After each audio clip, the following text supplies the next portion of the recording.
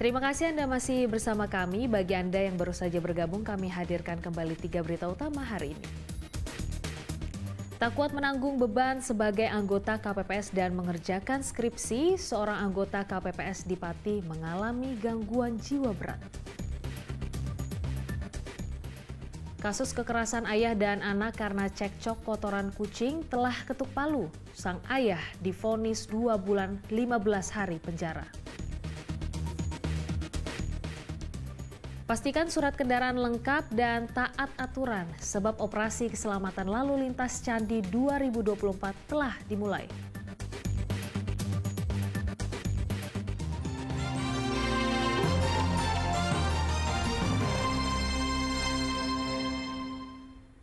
Pembunuh seorang kakek di Selokan, daerah Klaten, akhirnya ditangkap. Pelaku adalah tetangga korban.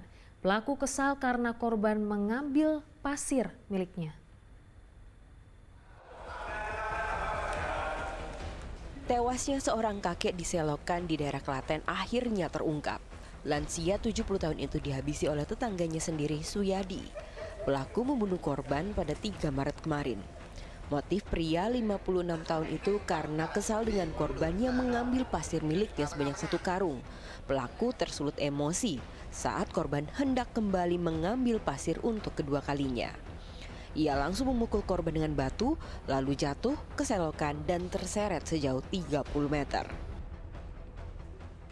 Kelihatan melakukan saya terus saya tunggu lagi, diulang lagi. Berapa kali Pak jadinya yang ambil pasir?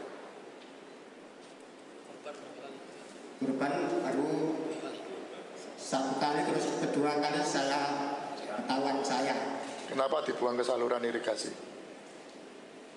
karena biar tidak ketahuan Caranya Pak? saya seret kaki kanan Tertangkapnya pelaku karena ada ceceran darah di depan rumah pelaku menuju selokan tempat korban ditemukan. Selain itu terdapat beberapa bercak darah pada pakaian dan beberapa bagian rumah pelaku. di mana pelaku juga masih TKP yang awalnya pelaku tidak mengakui perbuatan perbuatannya. Kemudian dilakukan konfront- konfrontir sehingga pelaku tidak dapat mengelak dan akhirnya mengakui atas perbuatannya tersebut. Kemudian tersangka dibawa ke Polres Klaten guna dilakukan penyidikan lebih lanjut. Tersangka akan dijerat pasal 336 KUHP dengan ancaman hukuman 15 tahun penjara. Polisi menyita beberapa barang bukti berupa pakaian korban dan tersangka, batu bata, sekarung pasir, dan sepeda. Krisna Agung melaporkan dari Klaten. Kasus kekerasan yang dipicu cekcok karena kotoran kucing telah difonis Majelis Hakim Pengadilan Negeri Tegal. Terdakwa Zainal Arifin difonis 2 bulan 15 hari penjara. Dua bulan 15 hari penjara. Itulah vonis dari Zainal Arifin, seorang bapak yang digugat anaknya sendiri atas kasus kekerasan yang dipicu cekcok kotoran kucing. Hukuman vonis ini lebih ringan dari tuntutan jaksa penuntut umum yakni lima bulan penjara.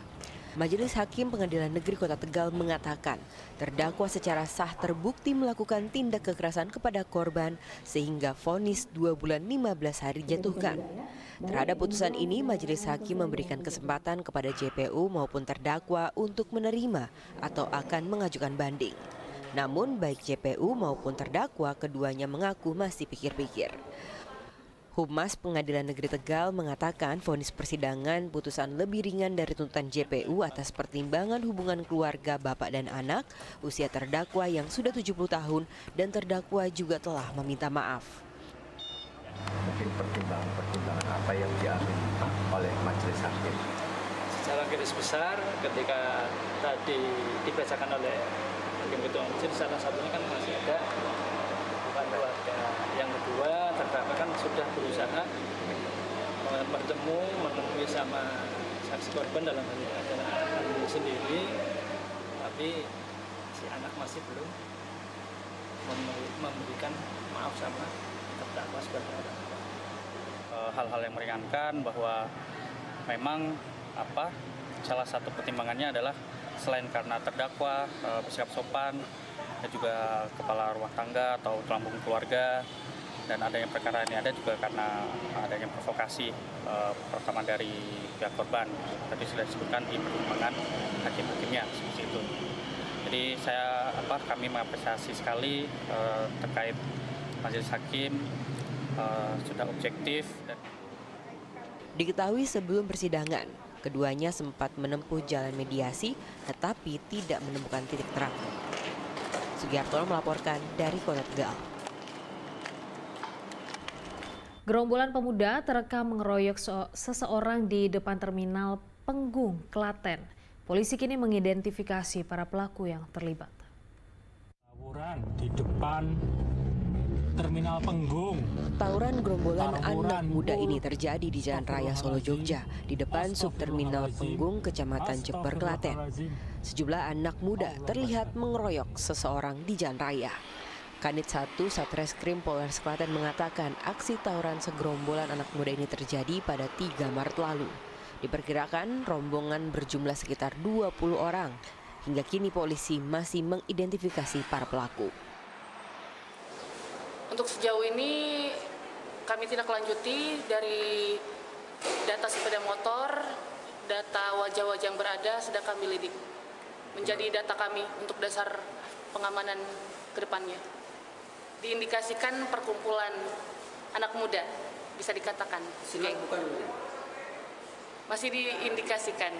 Tapi ada korban? Untuk sejauh ini belum ada laporan. Belum ada laporan terkait korban ataupun kerusakan dari dampak kejadian ini.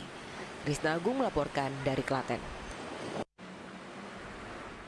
Berbagai cara dilakukan untuk menyosialisasikan operasi keselamatan lalu lintas Candi 2024, mulai dari gelar pasukan di Salatiga hingga ikut dalam karnaval yang digelar di Grobogan. Gelar pasukan di halaman Polres Salatiga menandai dimulainya operasi keselamatan lalu lintas Candi 2024. Sejak 4 hingga 17 Maret mendatang, beberapa pelanggaran akan jadi sasaran dalam operasi ini. Mulai dari pelanggaran kecepatan, penggunaan helm, sabuk pengaman, knalpot bising, penggunaan ponsel saat berkendara, melawan arus, membawa bobot berlebihan, hingga pengendara di bawah pengaruh alkohol atau obat-obatan terlarang. Kegiatan ini diikuti dari berbagai elemen masyarakat, dari TNI, pelajar, mahasiswa, hingga pengemudi ojek. Operasi keselamatan lalu lintas juga akan mengedepankan edukasi kepada masyarakat melalui sosialisasi dan pencegahan.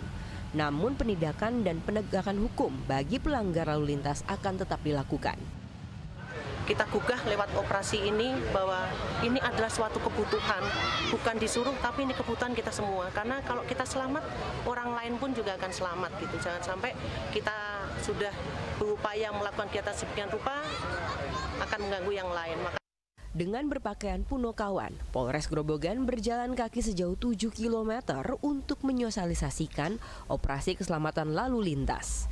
Kegiatan ini digelar bersamaan dengan tradisi Boyong Grobok untuk memperingati Hari Kabupaten Grobogan ke-298.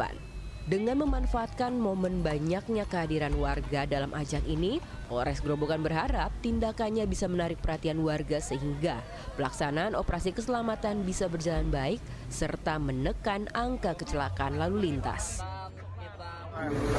dengan tujuan untuk mendekatkan diri kepada masyarakat dan juga uh, wujud cinta budaya Indonesia. Selain itu juga kami dari jajaran Polres Grobogan tadi juga mensosialisasikan pamflet yaitu uh, terkait dengan operasi keselamatan Candi 2024. Tidak hanya polisi, pejabat Kodim 0717 Grobogan juga ikut membantu sosialisasi operasi keselamatan lalu lintas. Mereka juga memberikan hadiah kepada anak-anak. Operasi keselamatan lalu lintas digelar sejak 4 Maret hingga 17 Maret mendatang. Yulianto Arif Nur melaporkan dari Salatiga dan Grobogan.